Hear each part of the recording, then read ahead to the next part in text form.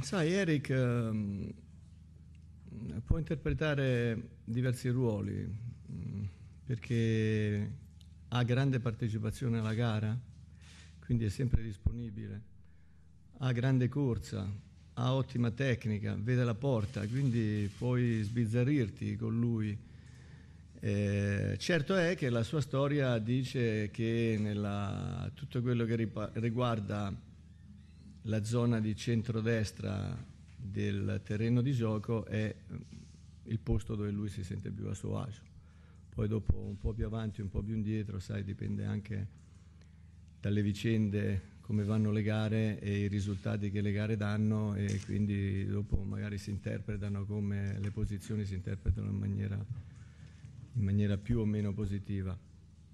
Eh, credo che sia migliorato molto ho visto che ora riesce ad interpretare delle situazioni che prima faceva fatica a interpretare, altre ce l'ha come dote naturale, però qualcosa di importante io credo che in futuro possa avere dei vantaggi. Corriere eh. della Sera. Buongiorno, avevo Buongiorno. due curiosità, una più tattica. L'anno scorso, forse per l'unica volta Luis Enrique proprio contro l'Udinese non ha fatto possesso palla, ma ha fatto lanciare lungo molto spesso De Rossi. Udinese che giocava con 5 centrocampisti, addirittura credo Pinzi a fare il trequartista. Eh, lei domani non ha regista, che era stato sempre Pianici in, questi, in questi, queste partite. Pensa che l'Udinese sarà ancora una squadra che giocherà così, cioè che si può attaccare con i lanci lunghi? E poi le volevo chiedere invece se lei ha parlato di, di Natale come un fenomeno, no? ed è, ed è, detto con tutto il rispetto del mondo, eh, il calcio italiano, i migliori del calcio italiano sono Totti, Di Natale, Pirlo. Non è po', perico, po', po pericoloso per un calcio affidarsi così tanto solo a giocatori sopra i 35 anni? Ma rispondo alla seconda intanto.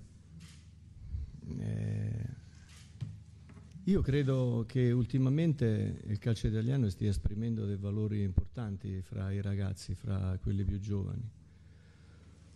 E mi sembra anche che ci sia la tendenza ad utilizzarli i calciatori giovani, perché il problema sta tutto lì, no? se non si ha la, mm, il coraggio di sceglierli, di tenerli in un gruppo, e, ma più che altro di metterli in campo poi quando è il momento, ma perché si spera sempre di andare verso un discorso di esperienza che è pur sempre importante.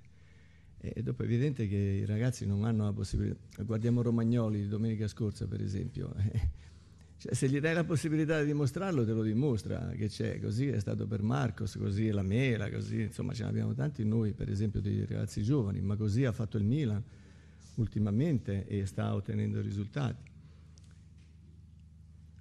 Eh, questo non toglie che se uno è bravo eh, è bravo anche al di là del, dei dati anagrafici.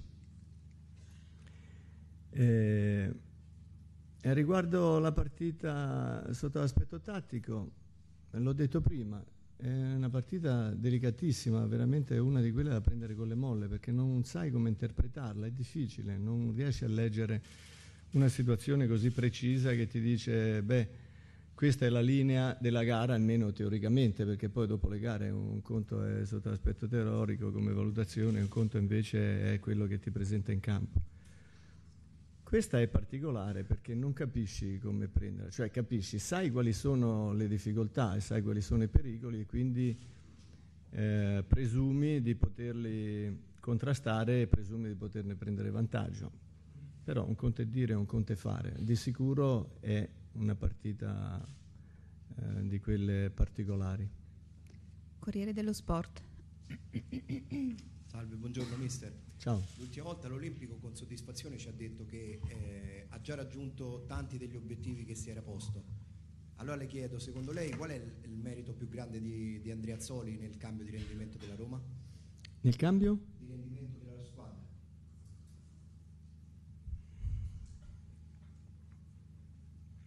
Eh, mi ripeto, ho già detto tante volte, credo personalmente di non aver fatto nulla di, nulla di particolare, se non esprimere chiaramente con l'assillo del tempo, perché questo è il nemico principale, eh, nell'esprimere quello che è la mia idea di calcio. Però se vogliamo indicare qualcosa di preciso, direi che lì credo essere stato bravo eh, nel mettere a frutto, nel creare sinergie